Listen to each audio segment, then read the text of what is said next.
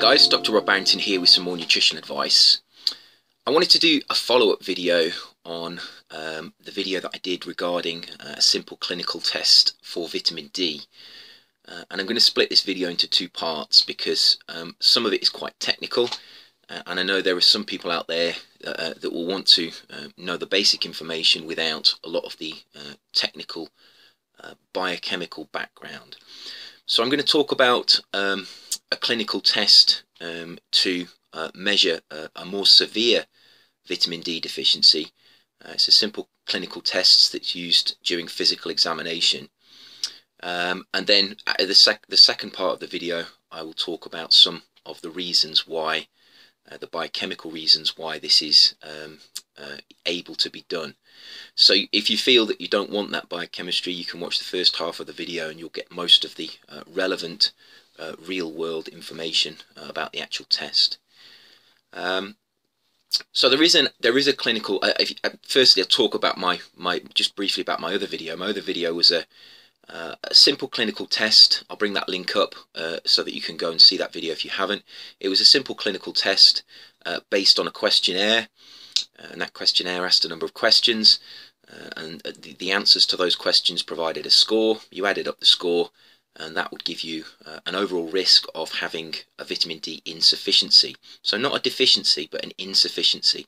So that's a low level of vitamin D, um, but not to the level where uh, you would have severe clinical uh, symptoms. Uh, it would be more of a, a, a chronic damaging effect from that uh, from that kind of insufficient vitamin D state. Uh, and that there was a study that was done on the on that clinical um, questionnaire and it, it correlated very very closely with with actual blood values uh, that were taken from the subjects.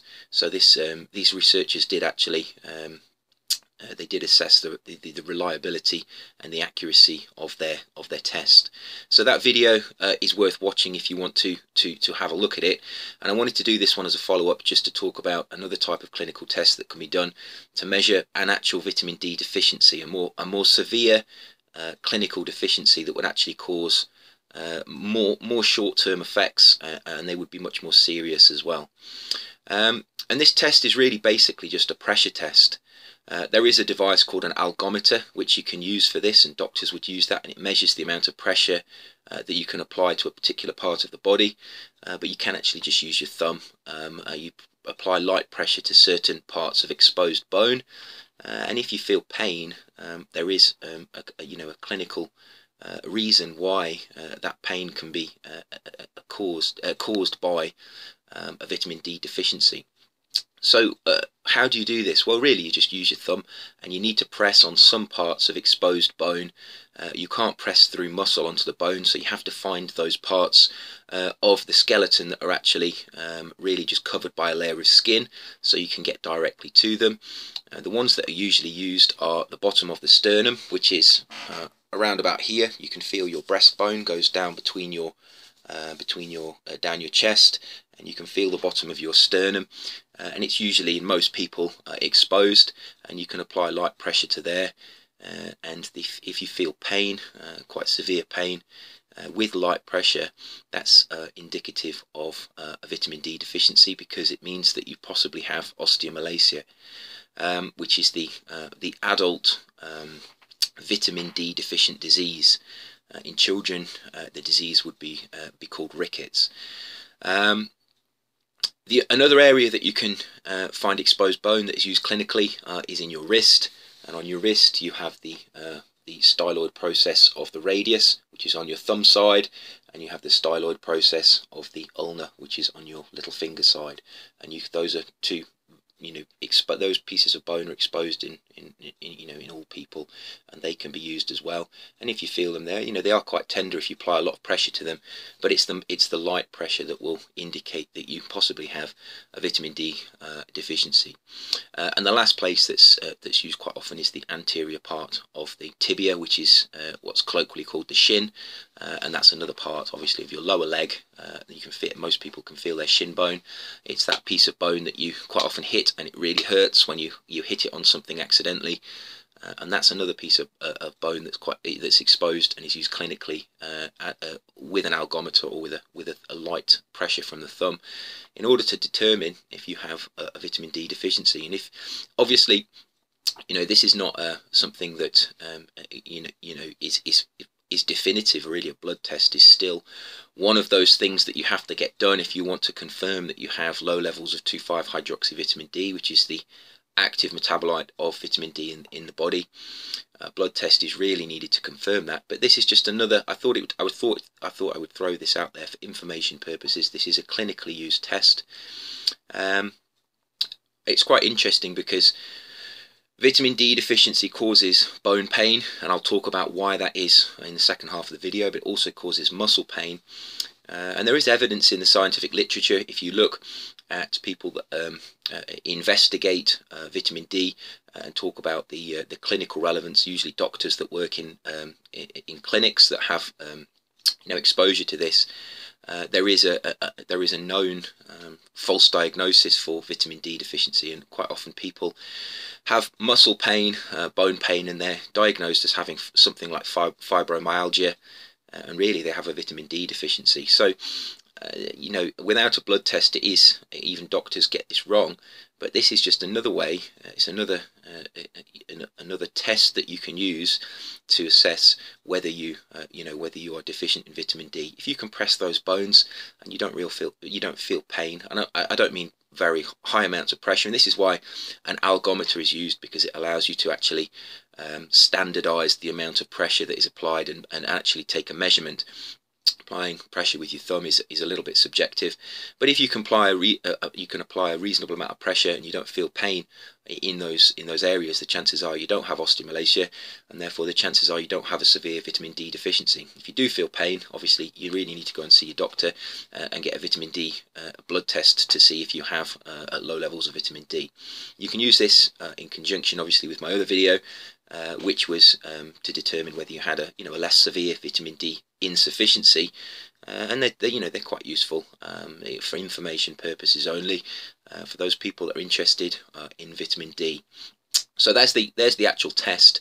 What about the biochemistry? Uh, this is the bit you can turn off if you're not interested in the in the background nutrition and biochemistry reasons for why your bone starts to hurt when you have a vitamin D deficiency. Um, Vitamin D is a hormone. It, it, works with other hormones in the bodies to, reg, to regulate calcium and also phosphate levels. And two of the hormones it works with are parathyroid hormone and calcitonin. Um, and calcitonin has a, an antagonistic effect to parathyroid hormone. hormone. Uh, calcitonin tends to lower calcium and phosphate levels in the blood. Uh, and it does this by decreasing absorption from the gut and increasing the excretion of the calcium from the kidney. Parathyroid hormone tends to do exactly the opposite. Uh, parathyroid hormone tends to increase calcium and phosphate uh, uh uptake from the gut and decrease their excretion from uh, from the kidney, and therefore it raises plasma levels of phosphate uh, and calcium. Now, if you have low levels of calcium in your diet, um, you you will activate um, parathyroid hormone, and parathyroid hormone will then try to increase your um, your calcium levels in your blood because if you have less in your diet, it stands to reason that there will obviously be less in your blood. And the parathyroid hormone does does this tries to raise calcium um, in the blood by um, synthesizing 2,5-hydroxyvitamin D into 1,2,5-dihydroxyvitamin D, which is just a metabolite, uh, another metabolite of vitamin D. And this metabolite then stimulates transporters uh, in the gut to increase calcium absorption and it also decreases the uh, excretion of calcium in the kidney uh, by again stimulating the, uh, the the synthesis and the activity of transporters which reabsorb the calcium from um, uh, from from when it's where it's filtered in the kidney, um, which therefore means less of it gets into the urine, and that is an effective way of of increasing the calcium and the phosphate levels of of blood, uh, and this system works. You know, it works within a very very narrow window as long as there's enough vitamin D because it's the it's the vitamin D that is required to form this metabolite that parathyroid hormone uses to raise plasma levels of calcium uh, and phosphate.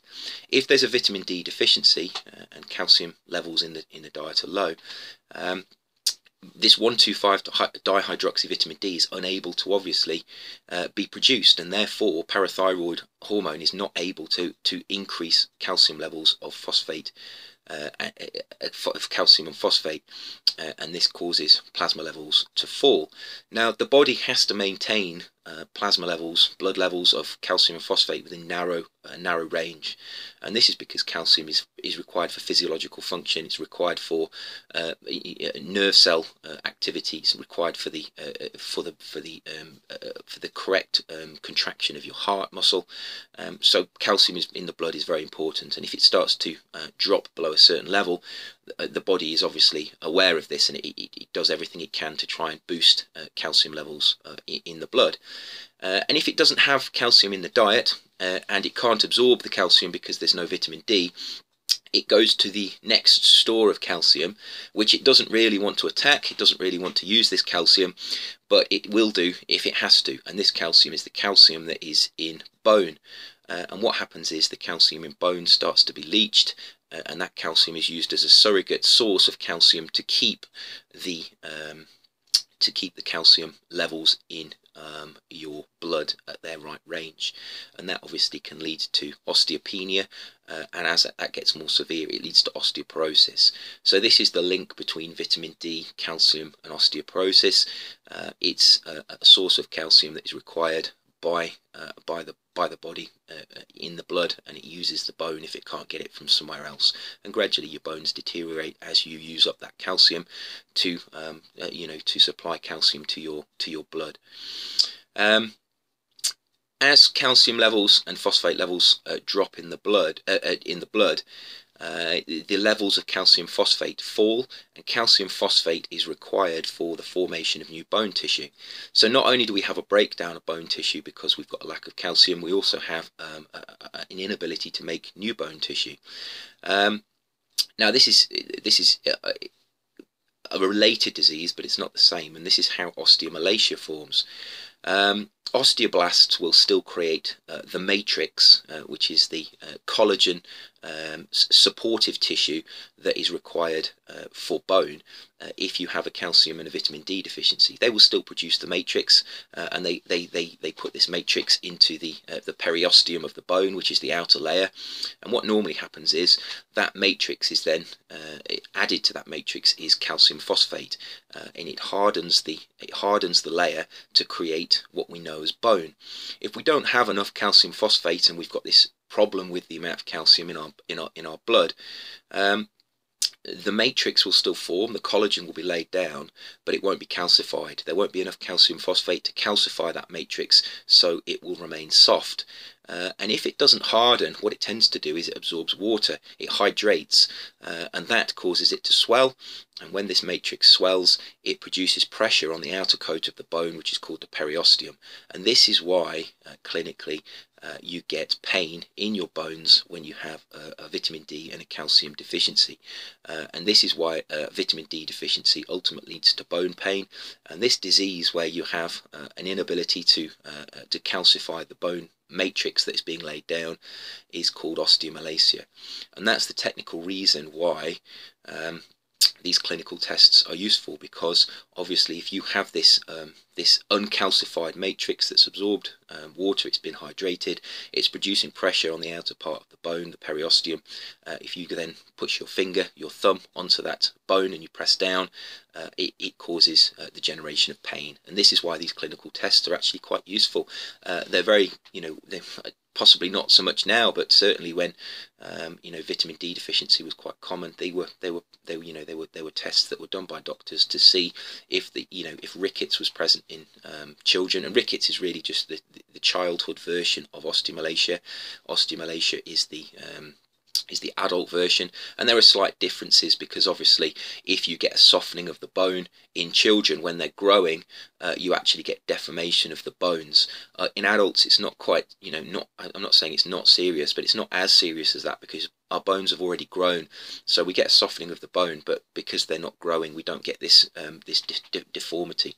Uh, and you tend to see um, clinical signs like bowed legs uh, and you see deformation of the of the skeleton in children when they get rickets. So they're slightly different diseases but they're caused by really the same effect which is a vitamin D uh, deficiency. Um, so that's the biochemical reason why the, that, that test is, is useful and it's used and I thought I would just throw that out there for those people that are interested and if you've stayed with me throughout this video uh, hopefully you've learned something interesting and you know maybe that test one day or the knowledge surrounding it will be will be useful to you. Um, if you want some more information on you know vitamin D deficiency and all the all, all the nutrition of vitamin D and calcium uh, please visit my blog which is robertbarrington.net um, and I hope this video is interesting. So, as always, eat well, stay healthy, and protect yourself. And I'll see you soon for another video. Take care.